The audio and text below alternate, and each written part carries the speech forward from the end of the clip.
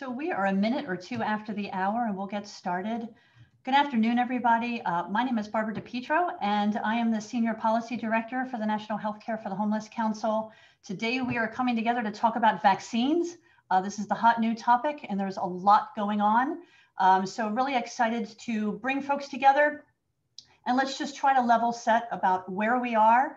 There's a lot of unknowns still, um, but there's a lot we can be doing to prepare, and there's a lot that we can do, particularly to increase trust and confidence in information uh, in the vaccines and what's happening. Um, so Brandon, if you could uh, go to the next slide, please.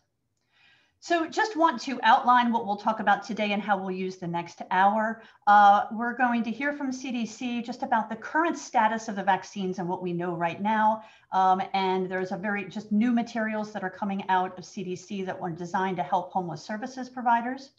We're going to hear from our, our great folks from the Boston and the Denver uh, Healthcare for the Homeless programs about how they are approaching their planning and implementation activities, both internal to their HCH programs, but also external in their community collaborations and partnerships. We're going to hear from Katie League about a recent issue brief that we just put out on vaccines that highlights some key factors that are going to influence the successful campaigns and the action steps that we need to be focused on now. Uh, and then, but really, we're going to have a panel discussion. And this is where all of us uh, come in, an active chat box here. If you can be letting us know your questions that you want to be uh, focused on in this panel discussion. We're going to focus on both what we need to be doing to make this successful for staff and clients, as well as both, again, internal to our HCH programs, as well as our partnerships with the broader wellness services community and continuums of care. So we want to try to address as many of your questions as possible. And then next slide. And then just want to introduce uh, our panelists today. Uh, Dr. Emily Mosites uh, is at the CDC on the homeless unit and has just been a tremendous partner with us throughout all of this COVID response. Uh, Dr. Denise de las Nueces is a medical director at the Boston Healthcare for the Homeless, uh, excuse me, the Boston Healthcare for the Homeless program and an assistant professor of medicine at the Boston University School of Medicine. Uh, Dr. Ed Farrell is the medical director of integrated health services at Colorado Coalition for the Homeless in Denver. And then Katie League is with us at the National Healthcare for the Homeless Council as our COVID 19 project manager. So these four folks are experts in their field and really excited to have them to talk with us today. Um, next slide. And with that, I don't want to um, hold us up. I want to plunge us right into our discussion. Again, would encourage folks to use the chat to be letting us know what's happening at your organization, but also to be asking questions. So with this, Dr. Mosites, if you could kick, uh, kickstart the conversation. Sure, thank you so much. And I am so grateful to be talking with you all today. I'm very grateful to um, get to, a chance to hear your questions um, especially because this is uh, certainly a light at the end of the tunnel. So earlier this week, the initial doses of COVID-19 vaccine were shipped around the nation and administration, administration began. Yesterday, uh, the FDA advisory committee recommended authorization for the Moderna vaccine. And so that means that coming up this weekend, there will be an advisory committee on immunization practices meeting. So that's an advisory co committee through CDC um, to vote on whether or not to recommend the Moderna vaccine. So last week they recommended the Pfizer vaccine. Now they're going to recommend or vote on whether or not to recommend use of the Moderna vaccine. And importantly, they're also going to be doing a vote on the next phases of prioritization. So that will include considerations for essential workers, people living in congregate settings, older adults, and people with underlying conditions. So very relevant um, to uh, considerations for people experiencing homelessness. Of course, ultimately, the phases of vaccination and prioritization will come down to state plans, but these recommendations from the advisory committee on immunization practices will likely inform some of those plans. Um, CDC is thinking about this rollout sort of like a new software for new, new phones or new software for phones. We're uh, expecting that there will be challenges, but we're hoping to work together really quickly to meet them. And, uh, you know, particularly when we're thinking about people experiencing homelessness and, um, and homeless service providers, we want to be thinking about a couple things in particular, very focusing, very focused on considerations around vaccine confidence and also vaccine coverage and tracking whether or not uh, we've got good coverage among people experiencing homelessness. We, uh, from CDC, we have a new vaccination FAQ that is posted on the CDC's homelessness landing page on the website as of this morning. Um, and we can, I'm sure we'll probably get to some of those questions in this discussion um, and uh, look forward to talking. And with that, I will hand it, I guess, back to Barbara. Great. And I think, um, Denise, I think you might be next. Uh, next slide. Oh, yes, there you go. Thank you so much, Barbara. Um, and thank you, Emily, as well. Um, good morning or good afternoon, everyone. Really happy to be here to share our planning um, from the Boston Healthcare for the Homeless program. Next slide, please. Um, so briefly, just wanted to touch on some of the state planning that has informed our own internal planning. Um, so our state has published a COVID-19 vaccination plan that's publicly available online. Um, and they have convened an, an, an, advisory group as well through the Department of Public Health. Health centers, including ours, are represented through our, our Primary Care Association, the Mass League, and the Mass League itself is has um, uh, convened their own vaccine initiative group that meets weekly, and we are certainly at the table there. We our our efforts and our planning has certainly been also informed by the um, National Healthcare for the Homeless Council's issue brief, which I'm sure, I, which I know we're going to hear a little bit more about later through Katie. Um, and I just wanted to show you all as well a little bit of the information that the Massachusetts governor shared with us all last week when he unveiled the state's uh, vaccination plan. Next slide, please. And here we go. Um, so just um, a little bit more nuanced details in terms of the state's plan on um, on available dosing and also prioritization. So for phase one, we fully expect, um, as you all are as well, to be in a limited vaccine environment. The state is anticipating receiving about 300,000 doses of the Pfizer and Moderna vaccines combined through December um, and or from from now through February. And they have really strictly ordered the prioritization of, of, of groups who should be prioritized for vaccine offering. Um, and, and, as, as has been um, uh, the case on a national level, but just to walk, walk us through for phase one, uh, clinical and non-clinical healthcare workers doing direct COVID-facing care are prioritized, as has been happening, followed by long-term care facilities and rest homes, EMS, and, and, and other first responders. But importantly, I just wanted to highlight that our state did make the decision to include congregate care settings, including shelters and houses of corrections in this first phase. And in fact, above healthcare workers doing non-COVID facing care. And so that has really greatly informed our own internal prioritization groups, which I'll show you later. Uh, next slide, please. Here's again, some more detailed um, categorization of who is in, in, in each phase and, and, in each bucket. Um, if you go on to the next slide, kindly, Brandon.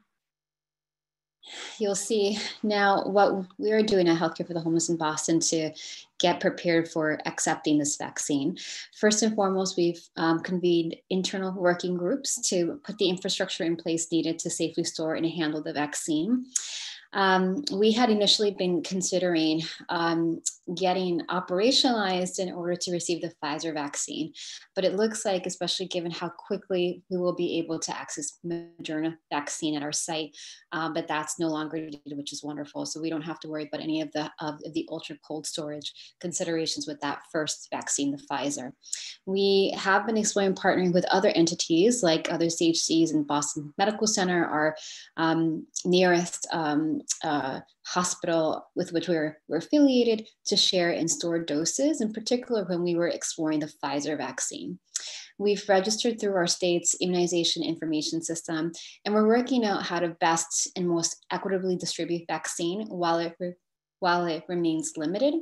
In particular, we're drawing from some frameworks on a national and on a state level. If you go on to the next slide, Brandon, kindly. Um, you'll see, well, first and foremost, you'll see um, how we have internalized our, our priority groups at BHHP, again, informed by the state's prioritization categories and risk of exposure to COVID. First, our, our first batch of um, vaccines will go to healthcare workers working at our Barbara McInnis House Medical Respite COVID ward. We do have a 25 bed COVID unit there. Um, and so that is our, our top priority, again, based on risk of exposure to COVID. Secondly, residents and staff of congregate shelters, including adult and family shelters in the city of Boston, and importantly, including shelter staff as well as our staff who are working at those sites. Thirdly, in prioritization um, will be healthcare workers in, in in non-COVID spacing and non-shelter-based BHHP spaces or Boston Healthcare for the Homeless spaces. And then lastly, all other um, patients who are not staying in congregate settings. Importantly, sub-prioritization within these groups will be needed because we expect to get to be getting vaccines in shipments as small as 100 doses. Um, and so we'll be pulling or looking into, we have been planning rather, looking into um, national and state frameworks about exactly how to do that.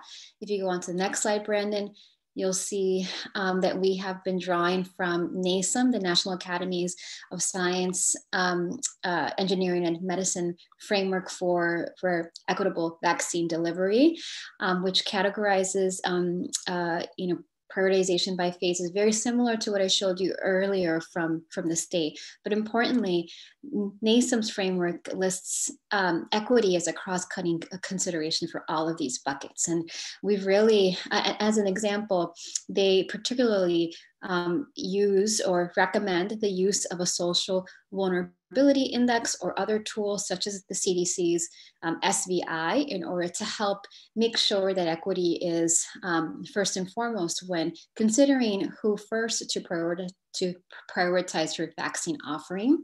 For those of you who may not be familiar with the CDC's SVI, this um, there's a lot of more detail on this on cdc.gov, but um, it's an index that uses US census data to determine the social vulnerability of every census tract. And the CDC in particular um, uh, emergency response efforts often and, planners rather often use the social the this this index rather um, to identify and map communities that will most likely need support before, during, and after um, an emergency event or hazardous events such as COVID. If you go on to the next slide, kindly, Brandon.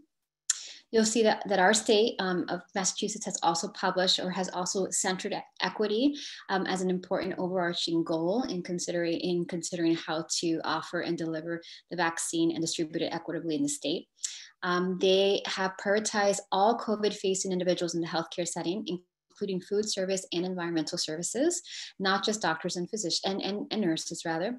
And then there's also this commitment on the state on, on the state level that 20% of additional vaccine will be allocated specifically for communities that have experienced a disproportionately higher burden of COVID and have a high social vulnerability. You go on to the next slide, Brandon, kindly you'll see that this is then how we are now approaching um, equitable vaccine delivery in Boston. We've convened an internal advisory group to help guide our distribution efforts, starting with how we prioritize staff vaccination upon receiving that first allocation of vaccines. Um, the advisory group importantly includes staff from different disciplines throughout the program, facilities, environmental services, kitchen, etc. We're also meeting with our consumer advisory board to so so that their input can inform our vaccine prioritization, delivering, and messaging campaign. And we've created a staff survey that we launched on Monday with a really tight turnaround of today at 5 p.m. to gather staff input on the vaccine and any concerns, fears, or uncertainties that they may have in getting the vaccine. Next slide, please. So we expect to receive our very first, actually, um, our um, McInnis House respite COVID ward ha uh, staff has already been offered the vaccine um, through a partnership with a local hospital. And we as a community health center expect to receive our first shipment of 100 doses of the Moderna vaccine. We just learned um, by next week, by Wednesday of next week, so really soon. Um, and I believe that's it for my slide deck, but I'm happy to share any more information and answer any questions as they arise. Thank you. Thank you, Denise. And uh, now we'll turn it over to Ed. Take it away. Hey, thanks so much, everybody, uh, for having us all here, specifically myself. Hey, I've got some quick slides only. Uh, Denise, that was a great review of what's going on in Massachusetts. Uh, I'm going to make fun of Colorado uh, a little bit later compared to what's going on in your state, by the way. I do hope that people use that chat box and ask questions because we, we're depending on that today. Um, this is just the interesting thing that COVID has so uh, impregnated and entered our lives that this is now our website. The first update is, hey, coalition updates at the Colorado Coalition for the Homeless. Next slide, please, Brandon. And, you know, I just, we all know how this is going, but this is my favorite resource to see in one fell swoop or one swell foop, as my friend likes to say, where we are. And it's discouraging. And we're talking about vaccine a lot, and we need to be and I, I can't emphasize enough to, to our staff, our partners, our shelters. After vaccination, then what?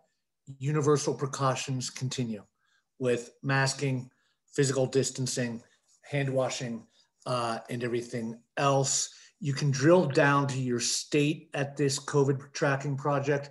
Uh, and if you compare places like Arizona, I, I just feel for them. It's very tough there and Colorado, somehow miraculously, we are coming down on hospitalized. This is for the whole USA. Next slide, please, Brandon. And, you know, I just would like to say that th this slide is, is, is my clarion call to myself and our organization, and I think all of us. This is so complicated. This came from the New York Times from this week and here's this beautiful thing here just, hey, COVID, join the resistance, get vaccinated. If only it were that easy. And people have been saying, hey, well, maybe we could pay people to get vaccinated. I think the only answer to that question is I don't know the answer to that question. It's really complicated. We were talking with some of us yesterday who were on the panel today with some additional people, and some homeless uh, people experiencing homelessness in shelters said, "Oh yeah, I, I, I think you should pay me, and I, that would be really cool." But this article goes into the nuance of that. Um, the one thing I'll share here is terms of we took a survey, just like Denise and Boston HCH surveyed our staff on Monday. Um, we just took the question from the Gallup poll: Would you get vaccinated if a vaccine were available right now? And, and I was pretty pleased that 79% said yes, 12% said maybe, with lots of comments that indicated that, you know, with education, we could talk you into it. And then only uh, the 9% said no. And then next slide and last slide for me, Brandon, please. And, you know, this is where, uh, and Denise articulated how well Boston is doing in terms of everybody working together as a team with partners. So at CCH, we've had some excellent internal um, le- leftover vestiges from when COVID first erupted, and we put we now 700 people in motels uh, in protective action. So that group has has been a natural forum to keep talking about things such as number one, prioritization of staff. We do have a, a rubric for tier 1A1, 1A2, 1A3. Happy to send that out. Uh, Barbara, FY, changes every day. The one I sent you yesterday is a draft. Um, and it becomes very difficult. We have people who, you know, spend only a little bit of time uh, per week, perhaps in a moderate risk setting, and we're going to count even that smaller amount of time as going uh, into the higher risk category. In Colorado, we only got 46,000 doses of the Pfizer vaccine. Those are being prioritized by to, to the ICUs, RNs working in hospitals and other staff. We, we have um, intimately joined arms with Denver Public Health and DDPHE, that's Public Health and Environment, to uh, determine the best way to uh, prioritize staff and get people vaccinated. The very unfortunate thing that happened in Colorado is that initially uh, Colorado was uh, prioritized homeless, uh, people experiencing homelessness as 2A. And then, unlike Massachusetts, who linked those folks with people incarcerated, the governor and the, their task force made the decision on the second round of thinking we're going to make those people uh, priority three, which is, I just think, morally, ethically, the totally wrong call. It's also the wrong call uh, you know, from an infectious disease perspective. Now, what we believe in Denver is because we've had these ongoing meetings, and, and this is what I encourage people to do is make sure you're linked tightly with your public health departments. That I think that in Denver, we'll be able to prioritize folks in the congregate shelters with phase release to a, at least in the metropolitan area, which will be really important. Um, the only other thing I wanted to mention is there is a resource out there. I'll put it in the chat box where you can um, look at your state and the laws that are in your what, what's happening with your vaccine rollout in your state compared to other places, um, and it's and it goes through all the specifics of the state distribution priorities, and people uh, might be interested in that. I sure was because it's going to advocate more with our state health and our public health partners. Let's be more like Massachusetts. I just put that into the uh, box right now. And that's all I have. I'm hoping that we'll get pummeled with lots of questions and comments, or Barbara will uh, have things to add as well. Thank you, Ed. Uh, and now we'll go to Katie for a brief update on our issue brief, and then we will uh, start to address the questions that have been rolling in. Good afternoon and good morning to some of you. Um, I saw some joining from even as far as Hawaii, so welcome. Uh, thank you for being a part of this conversation. It's an incredibly exciting um, and somewhat confusing and stressful time, um, but uh, as, as Emily mentioned, this is a light at the end of the tunnel. Um, but it's it's still a long we're we're sprinting through a marathon here so still still a long way to go um, but some exciting things we can do for our community so next slide please um, we at the council decided, uh, as has been mentioned, each state was asked to first submit a draft prioritization plan or a vaccination plan um, in October. And then recently, the first week in December, submitted a uh, a revised um, plan based on how they plan to prioritize vaccinations in their community. Um, as has been mentioned, the CDC has prioritized both uh, healthcare professors, uh, professionals as well as residents and staff of long-term care facilities. Um, this population or these definitions would include healthcare for the homeless program. However, each state was given the responsibility to come up with their own plan. So, as we've seen highlighted in both Boston and out in Colorado, and is the case across the country, every single plan is slightly different, um, both in how they talk about their population, how they prioritize them, and even how organizations and clinics who are traditional vaccine providers will access this particular vaccine, at least initially. Um, so that that resource that Ed shared is a great one to find out the specifics of your state. Also on the CDC website is a link to each of those original documents that was submitted back in October. Um, so I give a couple examples here that some very broad language, sometimes people experiencing homelessness are referenced specifically. A lot of times our community is reference particularly those who are living in shelters and not so much our broader community. Um, so we'll talk a little bit about how that's a really important thing to engage in the conversation because from the vaccination perspective, they are looking at people who are in congregate settings, which is traditionally a shelter-based setting. Um, but our community needs to be prioritized for a wide variety of reasons. Next slide, please.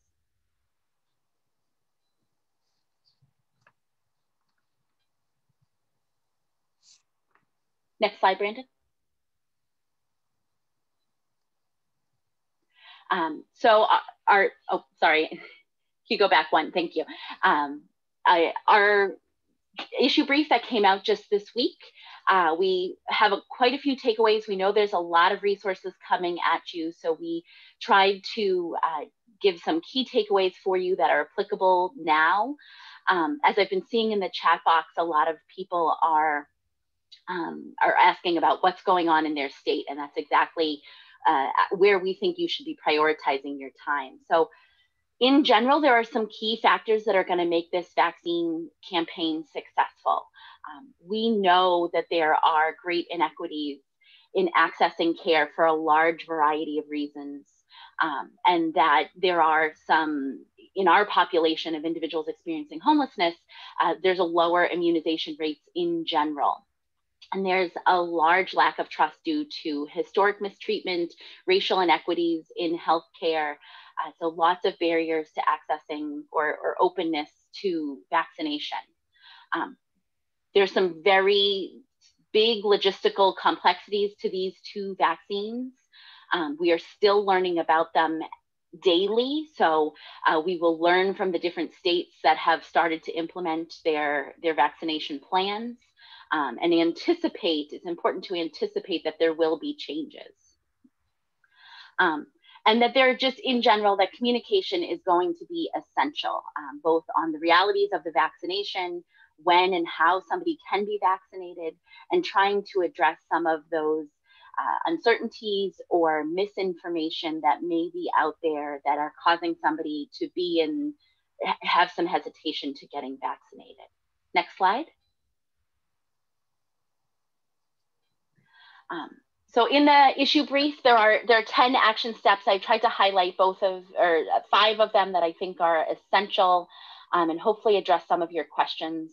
Um, right now, it, it is not too late to get involved in the conversation if your organization is not yet, or you're not sure where the conversation is taking place in your state. In some areas, it's still happening at the state level. It hasn't made it out to the local jurisdictions yet. Um, but starting getting involved in that conversation and talking about our population from the the broadest sense of people experiencing homelessness at all housing settings. Um, because while their environment may be prioritized based on if they are living in congregate areas, they should and may be prioritized for different reasons, particularly other health conditions they are living with. Um, this is a, I'm stealing this from Denise, a, term that I just absolutely love, um, but developing this concept of vaccine ambassadors uh, among both clients and staff. We need everyone to get vaccinated in order to get to the end of this tunnel. Um, and the hesitation is not only among people who are considered patients of our clinics, it absolutely is happening in our coworkers and um, the same inequities that have taken place and the historic um, mistrust is is for all levels of individuals. So really having identifying who in your communities at different levels um, can be used as vaccine ambassadors and encouraging individuals to get that uh, get their vaccines.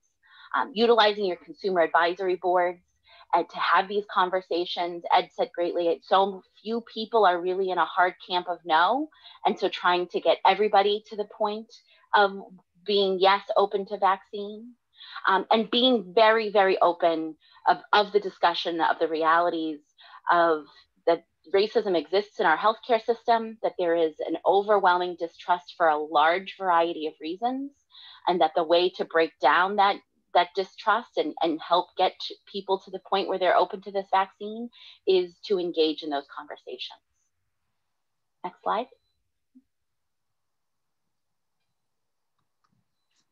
And I think that's it.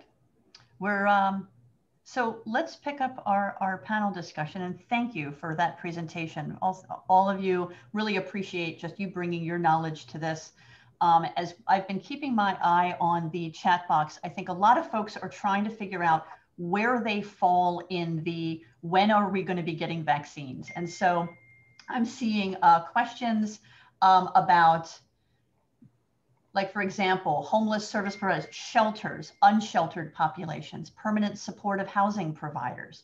Um, Emily, I, I, will kick this to you first. Just again, with those different groups uh, that kind of all fall in these general buckets, uh, what's the best way for people to understand a little bit more about where they fall in the distribution line in their state?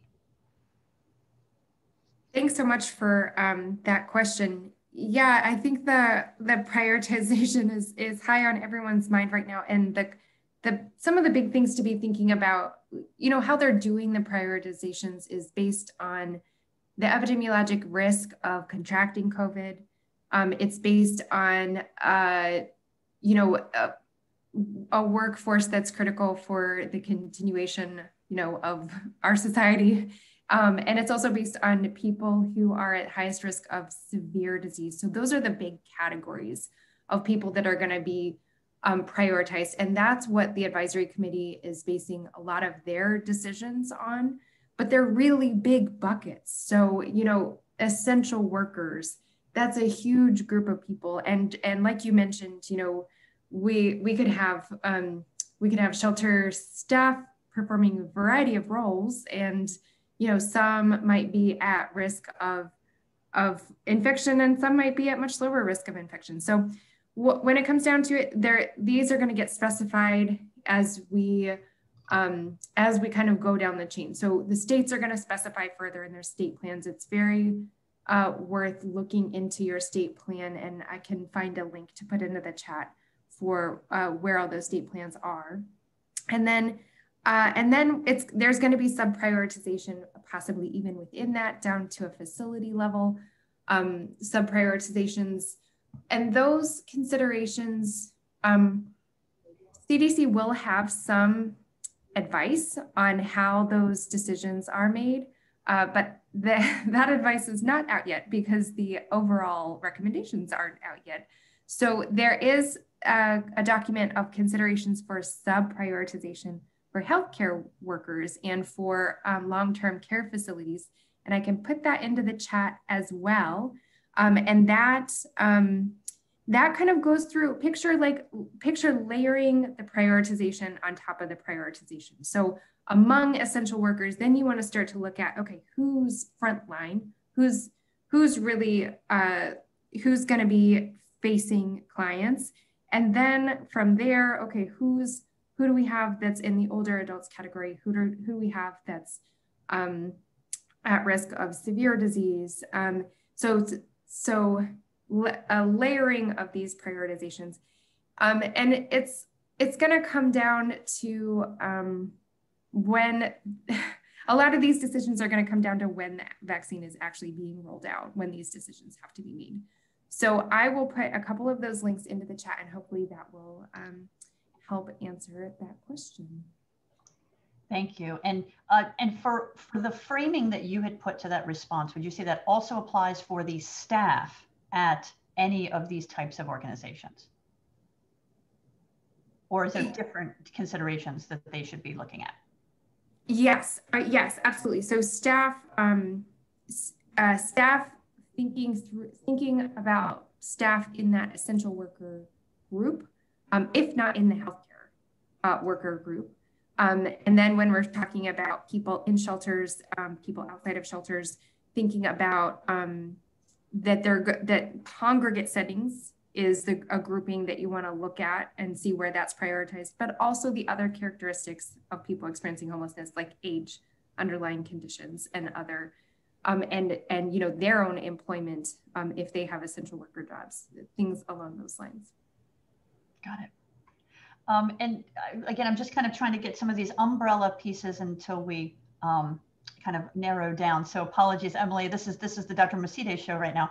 Um, when we think about how would people find out, for example, um, should should folks like what will be the alert that lets them know when they're getting it, if they're getting it, where they should go or what to do? Is that something that people should wait to get from someone? And if so, who would that be coming from? Yeah, absolutely. So the vaccine right now is going to um, states. And so the states are going to be the ones that will have, right now, with such a limited number of doses, absolutely, they're going to be the ones that are going to know exactly where it's going. Um, once it gets to be uh, more widely distributed, things might change, but right now it's very much in the hands of the state health departments.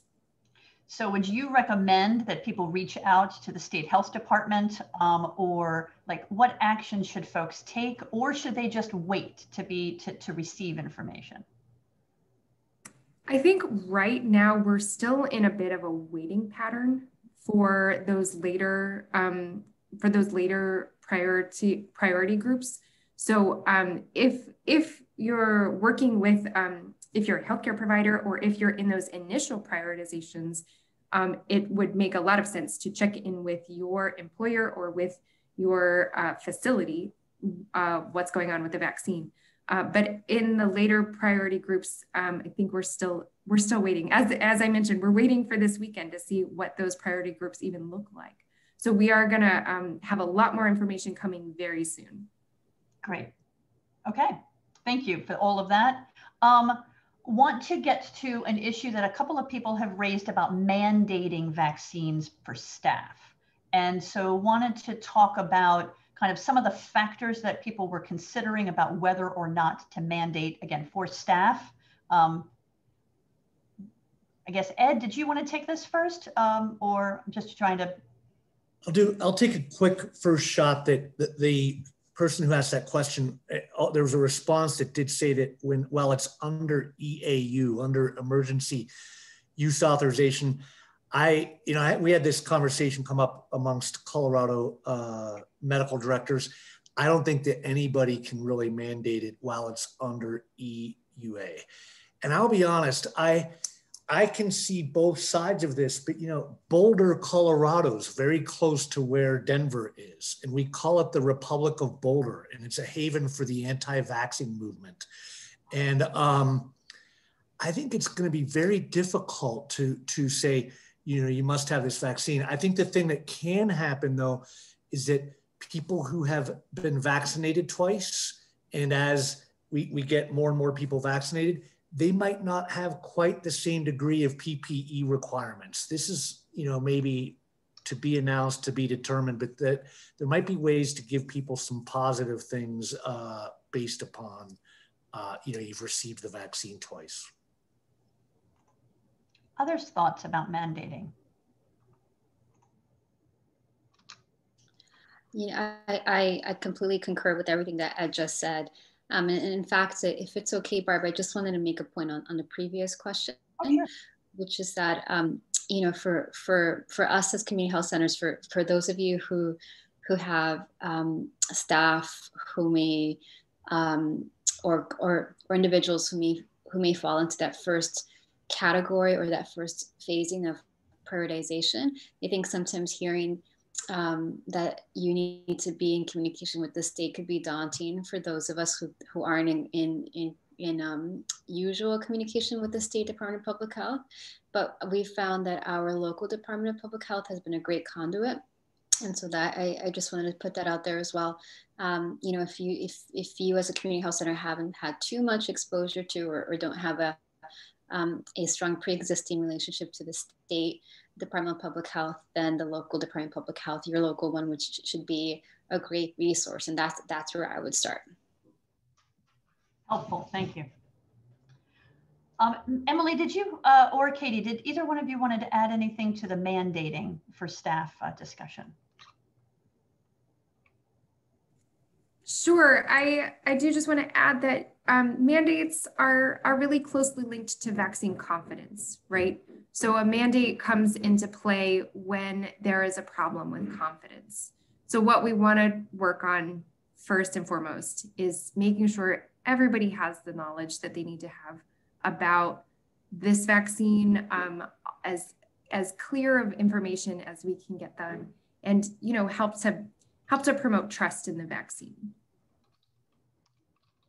and I just to piggyback off of what Emily said, this is the time to be building those confidence campaigns, you know, that communication campaign to individuals, as we've discussed right now, is, is not going to be the time when we're vaccinating those who have significant reservations, primarily be because there's other people who need and want that vaccine in the priority groups. We are not at the point where we're going to be doing these in depth outreach campaigns with the vaccines to people who may have some resistance. Now is the time to be doing the education and the relationship building so that when the vaccine becomes available to those individuals, they have moved from a position of no, we're unsure to yes. Um, it's the truth in all of the outreach work that we do, and I'm going to tip my hat and show my experience a little bit here as a clinician, is that we build those relationships so that when any resource becomes available, the relationship is in place so that they are open and trusting of us to provide them with a quality thing, whatever that thing may be. Right now, it's a vaccine. Um, so that's the focus of the work for a, a lot of us. So we are not late in doing this. Now is the time to start those efforts. Excellent, helpful. Um, we had gotten a couple of questions about vaccination and allergic reactions. We've been seeing some in the news. Uh, so both um, discussions about allergic reactions and then also how does the vaccine affect those with autoimmune diseases or um, who are immunosuppressed or may have specific healthcare conditions and are concerned about how the vaccine will impact them. Uh, Denise, did you want to take uh, the initial response? Yes, I am. I'm, I'm happy to take a stab at it. Um, with regards to how the vaccine affects individuals who may be immunocompromised and who may have weakened immune systems, what we know is that this is not a live vaccine. So, unlike other vaccines that have been in use for, for decades, like the Zostavax for shingles or like the, the, the um, MMR for measles, mumps, and rubella, um, this, this, the, the technology behind this vaccine um, does not pose a risk to the individual who is immunocompromised. Um, what we do understand about the vaccine also is that although this um, is a vaccine um, technology that for the first time has been licensed, so these are the first vaccines um, using this messenger RNA technology to have been licensed in, in, in the country, um, that this vaccine technology has been studied for the past decade. Um, and so with that, I will say that, um, uh, you know, as a, as a physician, as, as a healthcare worker, um, it's possible that somebody who has a weakened immune system may not mount as robust an immune response to a vaccine. That being said, individuals with an with a weakened immune system are would be at increased risk of complications from COVID. And you know, I I, I would strongly urge people who are um, immunocompromised to consider discussing this with their with their primary care providers. Um, but it, it absolutely is something for which there is no contraindication and for which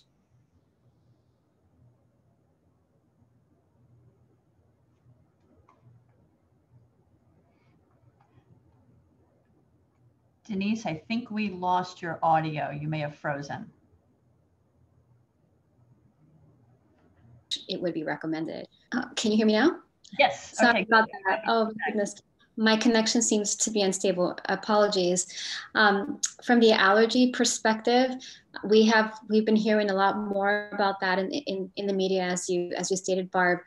Um, what we know is that individuals, so everybody who who is vaccinated should be monitored for 15 minutes after that the, the first and, and second doses.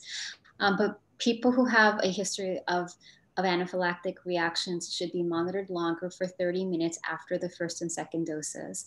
Um, and what I or what I would recommend is that if, if anyone has a significant history of, of anaphylaxis or anaphylactic shock, to discuss it with their primary care provider um, to weigh the risks and benefits. But that in and of itself um, is one of the ways that you know the the CDC and, and others are recommending that we are, are extra cautious for uh, after vaccinating people who may have that history. And Emily, I'm not sure if you have anything to add to that.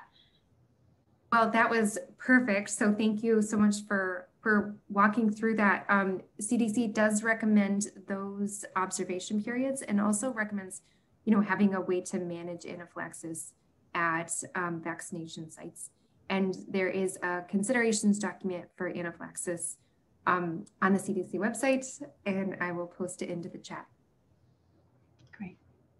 We're covering a lot of ground here today, a lot of different kinds of uh, questions. So let's talk about payment and uh, how much it will cost um, at the provider level. And so one of the questions here is, are the batches of vaccinations for people experiencing homelessness and healthcare workers paid for by the state or is it paid for at the provider level? And just get a sense of like, particularly on the ground, like what kinds of expenditures should people expect? Ed, did you want to maybe take this one? This is a hard one. It's probably full of unknowns. Yeah, I'd say it's full of unknowns. And, you know, I, I do know that for our healthcare workers, it, it's coming through the Denver Public Health Department and it will be free of cost. And, you know, and of course, for our patients, it's going to be free, free, free. It has to be free. Um, and then, you know, I'm not as good on the payment side of things as the clinical, so that's all I got. Anyone else want to weigh into um, to that issue? Yes. Um, so, so I can say that um, vaccine doses have already uh, been paid for by by the federal government. So um, there there may be you know costs for administration, setting up sites, those sorts of things that might not be covered. Uh, but on the whole, cost uh, of the vaccination itself is uh, free to the individual receiving it. And would you say that local jurisdictions, like the local health authority, is the one who would be uh, taking those expenditures for setting up tents or doing those kinds of, of local expenditures? Or would that again come to a shelter that would have to, to do that? Or does it depend?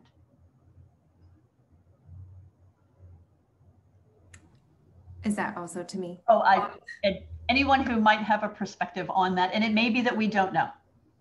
I think we're probably at a point where we don't know, but I would imagine that it would be um, the the expenses would be um, carried by the the entity administering the vaccine, unlikely to be you know a shelter that would be hosting a vaccine event. Great, and thank you, Martha, for putting um, a great Kaiser uh, uh, brief in the chat box that talks about costs as well. So that might be helpful. Um, we had gotten um, some questions, so let's uh, shift to the logistics of the second shot. And so this has been a number of questions we've gotten both in this chat box and in other spaces where with the need to get a shot um, delivered three or four weeks later, particularly for our patient population that tends to be very mobile or accessing uh, services either sporadically or in different places. What are um, our thoughts about how do we ensure that second follow-up dose and how are we tracking this data? Um, does anybody want to start with their thoughts? Denise? Yes, I can start. Um, I would say to uh, so every at least in, in Massachusetts, and I, I'm I'm sure that there's um, counterparts for every state. But when we, as a healthcare entity, signed our um, state's COVID vaccine um, agreement, part of that agreement was the expectation on our end that for every dose that we administer that within 24 hours we we document that in in the state's immunization information system um, and i know that our primary care association in massachusetts the mass league is looking into is helping us to look into what type of reporting can be done to help facilitate reminders um, for on the healthcare end uh, for that second dose. For us at Healthcare for the Homeless, what we've been considering is is there anything that we can build into into HMIS, our, our, our HMIS system as a reminder perhaps that, oh, this person um, within 21 or 28 days, depending on the vaccine that they received, um, please ask this person to uh, proceed to the shelter clinic, something like that to that to that effect. We we have there's a fair number of people of in in, in shelters or shelter guests rather who who are seen by our healthcare center and who who have pre-existing um, charts in our in our electronic medical record, but there's also a fair number who don't. So for every vaccine that we administered, we will be offering registration into into the the electronic medical record that we use. That will help with reporting and with reminders.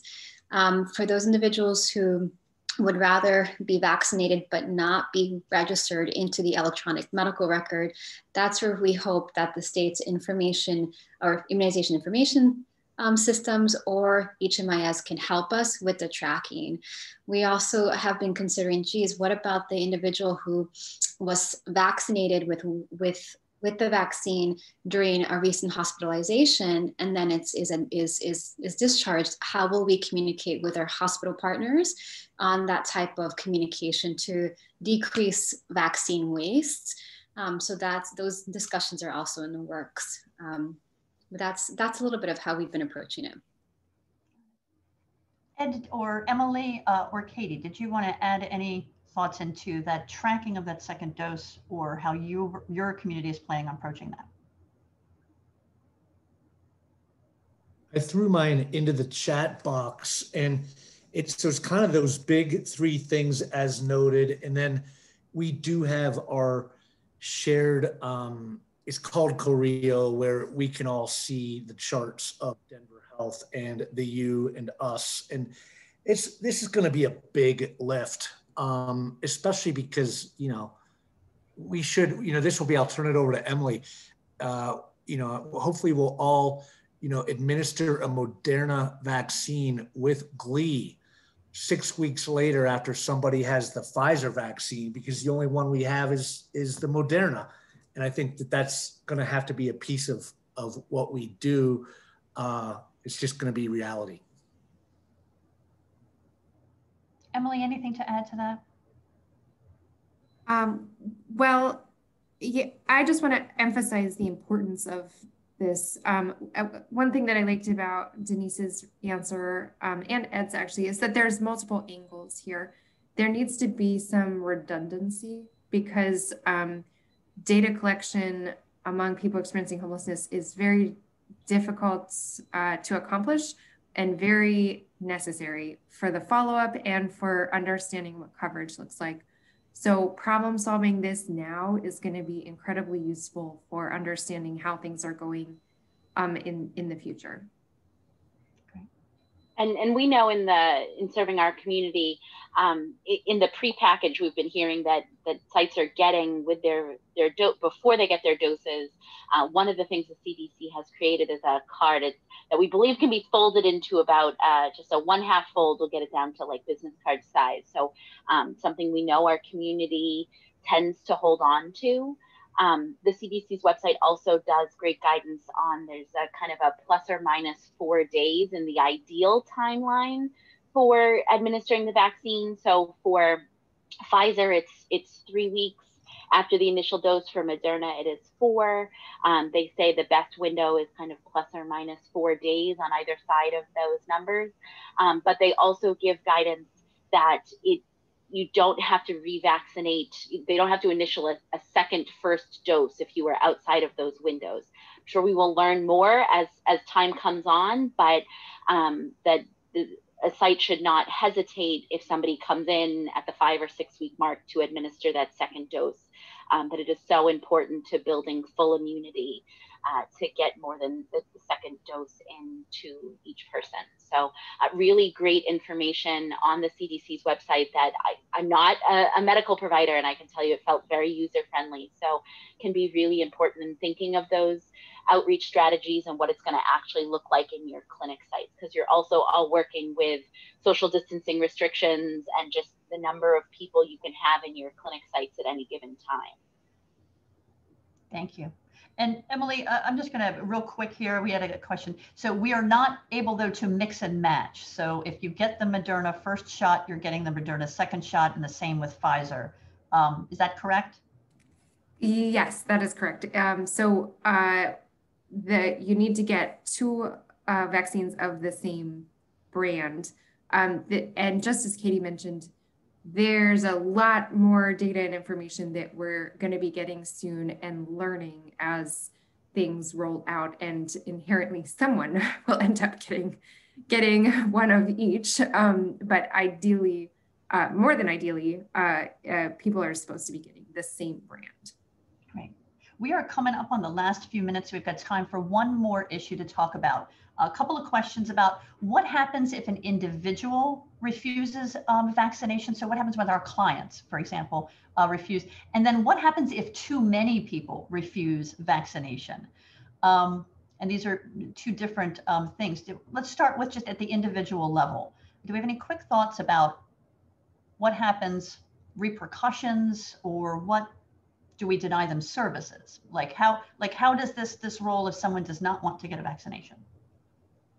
You know, I think that you know we've got to put on our trauma informed care hat and universal precautions. Everybody's has trauma. Some people have ACEs scores of 10. And I just don't ever want to say, thou must get this vaccine or we will deny you these other things. Great. Others response?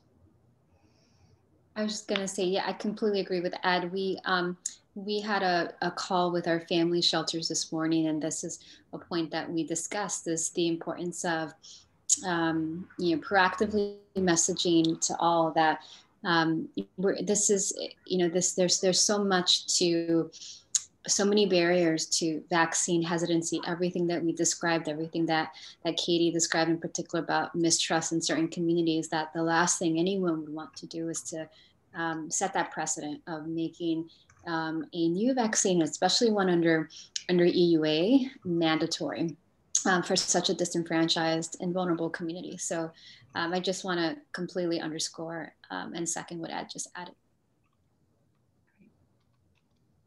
Yeah, that's. Oh, go ahead. Oh no, no, I was going to call on you next. oh yeah, great. Um, so, well, I was just going to um, uh, echo that as well and say that um, uh, you know we we don't want to see uh, vaccination becoming a barrier to homeless services. Homeless services are crucial, um, and and other healthcare services as well are crucial. So um, so we don't want to see that uh, becoming a barrier. Of course, um, as we know, uh, the the number of people, the percentage of people who get vaccinated um, will have an impact on the, the trajectory of the pandemic. Um, but every but everything that Ed and Denise said, I think is um, imperative to keep in mind. Great. And then let's try to squeeze one more clinical question that just came in under the wire about previous positives. Uh, should they be vaccinated or should they be a lower priority? And we might be able to squeeze this right before the end. Um, Emily, is this one for you? It looked like Ed was unmuted, so oh, I was going to. Okay, Ed. Yeah, I was only unmuted because I failed to mute. But so Emily, you better make sure I, that I'm quoting things correctly. I, you know, what one thing is that if people, if, if you have very limited supply and someone's actually had active COVID within the last 90 days, you know, might make sense to, for those people to wait. But at this point, we're recommending no serological testing and no withholding of the vaccine because, um, you know, we just think that the natural immunity that people might get it later and there'd be no reason to, to withhold the vaccine. There, there can be some nuance there, uh, with, like, like I said, with the 90 days, maybe, maybe 120 days. Great. Emily? Anything to add? Completely agree. so thanks, thanks for outlining that. So on that note, um, we are right at time. I absolutely appreciate, thank you so much to all of you for your sharing your expertise today. I really appreciate your presentations, sharing what's going on with you. Everyone is so busy and so everyone's time here is valuable appreciate everybody that came here today. Please keep an eye out. We will be doing more of these conversations as we roll through um, this, as we have been doing. This is still rapidly evolving, so there'll be more coming. And uh, after this uh, webinar comes up, you should get a, uh, an evaluation that will pop up. Please let us know what other topics you would like for the National Healthcare for the Homeless Council to be doing webinars on, or what materials we can be developing to help make this vaccine um, extravaganza work well for you.